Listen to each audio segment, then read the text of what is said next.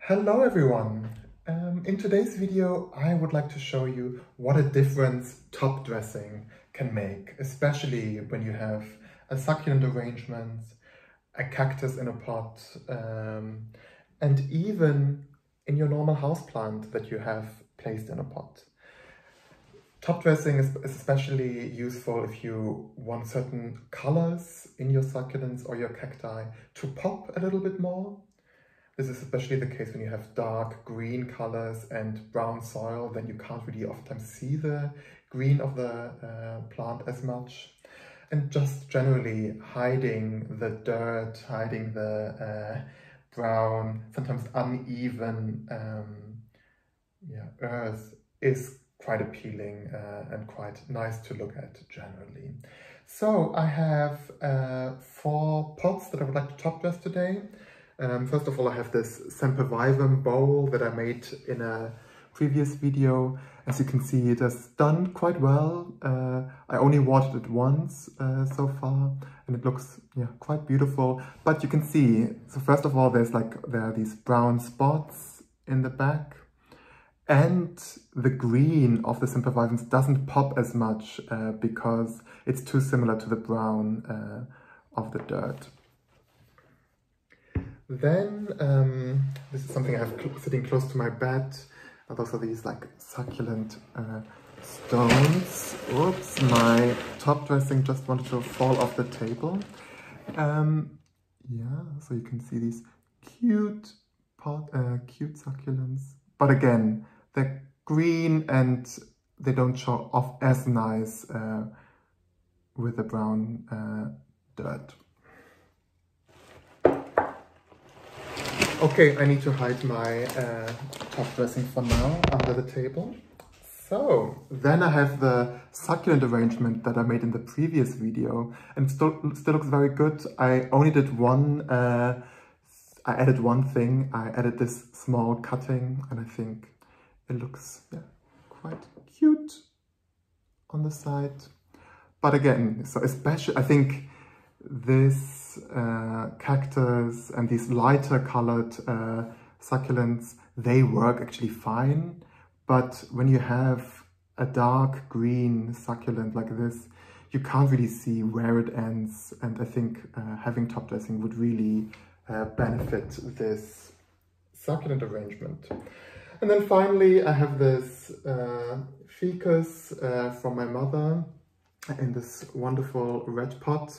But if you look inside, so sometimes I walk past it and then I look over it and I can see it's not the most appealing side. So you have like brown, but like white spots and maybe I would like to just would like to see what it looks like if I have some top dressing. Maybe this kind of, yeah, improves the overall look of this uh, ficus bush.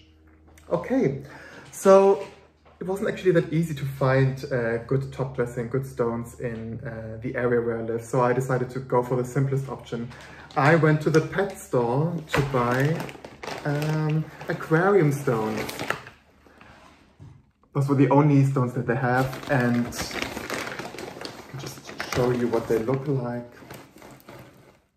It's just like gray, light, uh, like sometimes slightly reddish white stones and yeah, um, they tend to be a little bit dusty, so it's definitely worth washing them, rinsing them at least once uh, before you top dress. This is what I did in my mug. Uh, so I washed them and now they're a little bit clearer. So I'm going to use these stones to uh, top dress my plants. And I'm going to use the easiest one first because it's just very easy to access uh, this pot, which is this one. So let's see what it looks like when I top dress.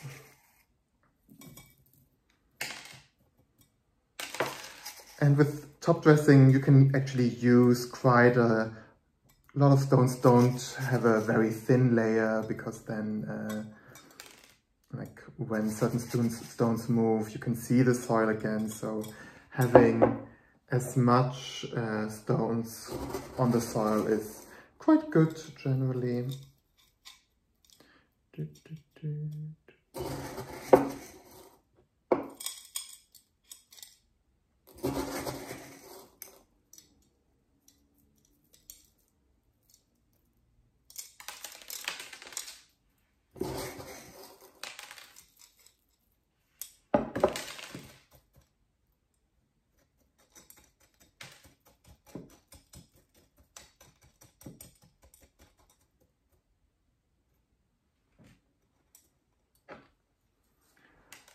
So here we are.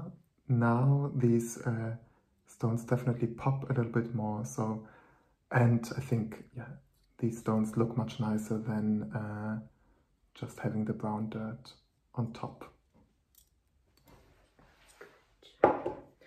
And now let's go to my uh, succulent arrangement.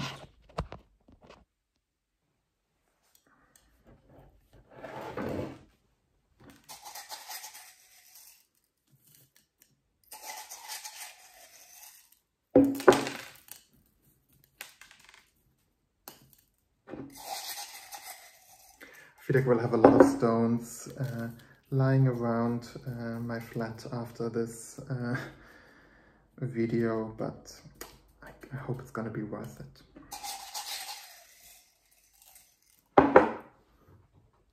to lift the succulents a little bit to go really under the uh, under the leaves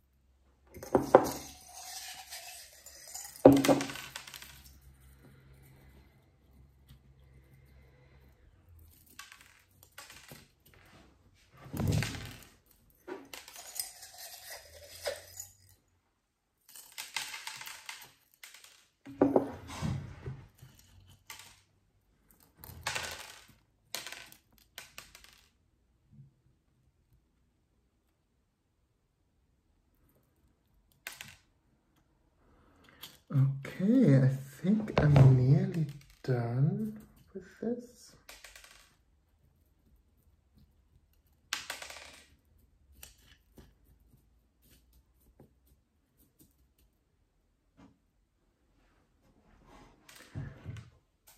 Did I hide all the stones? Yes. Okay, and I think you can see it especially, especially with this succulent, you can see the leaves much better, much clearer because of this light uh, top dressing. You can't see any dirt anymore, so much more appealing to look at. Okay, so I'm gonna do this with the remaining uh, two pots or the bowl and I'm gonna show you the result later on. See you in a bit. Okay, so I'm done. Uh, let's start with the ficus. Um, in this case, I used the dry pebbles, just this way it's, uh, you can also see what the difference is between wet pebbles, what it's gonna, and what it's gonna look like once the stones are dry. So now I use the, uh, yeah, the light gray pebbles and it just looks much more neat uh, when I look on top, when I look onto the uh, plant and I'm generally quite happy. So it kind of just goes to show that you can even use it on um, uh, house plants if it's appropriate. Then my Sempervivum bowl. Yeah, I think it looks like a terrarium now in a way and uh, yeah, I really enjoy that I can't see the brown uh, anymore. Oops, yeah. yeah. Quite happy with this. And just to kind of compare, so this is what the uh, stones are going to look look like when it, when they're wet, but they're going to be a little bit lighter uh, in an hour or so once the stones are dry. And I think then uh, these uh, all my succulents are going to pop even more. Anyway, I hope you um, enjoyed this video. It really is uh, quite easy. It doesn't have to be too expensive. You can be quite creative what kind of stones you're going to use.